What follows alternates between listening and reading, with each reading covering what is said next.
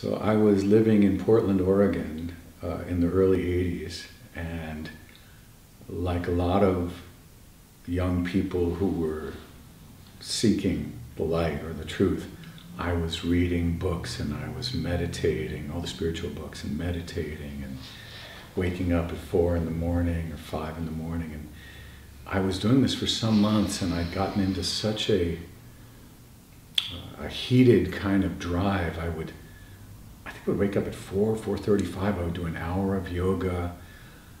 I would then meditate, and then you know, I was total vegetarian, and I was really going for it.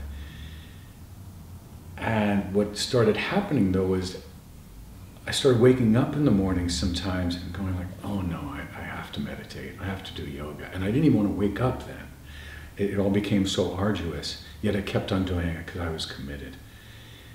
And this one morning I woke up and I lived right on the edge of Washington Park in Portland. And there were these beautiful ferns that were on the side of our house, and it was summertime. And I just couldn't get myself to go upstairs to this special room we had where, where I would sit and do my yoga. And I just felt like I can't do this. I can't make myself do this again.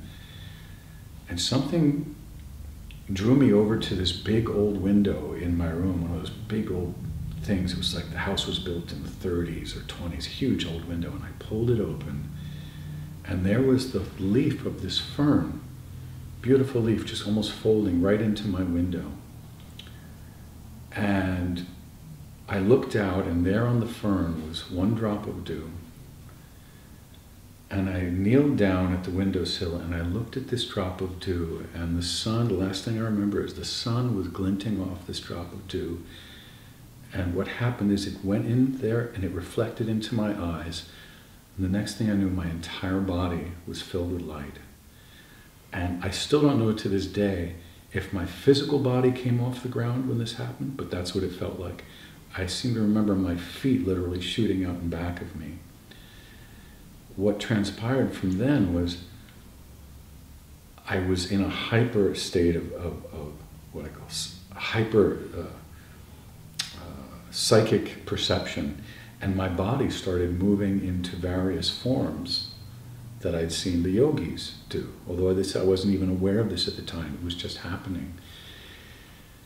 And uh, this happened, and I I was just, my mind was blown out. I felt like I was, when I walked out of my room, I felt like I was a city block walking around. And uh, I had a very, very difficult time grounding that experience. and it's been 35 years since then. And to this day, I feel like I'm still trying to ground that original explosion of light that happened on that morning in Portland, Oregon.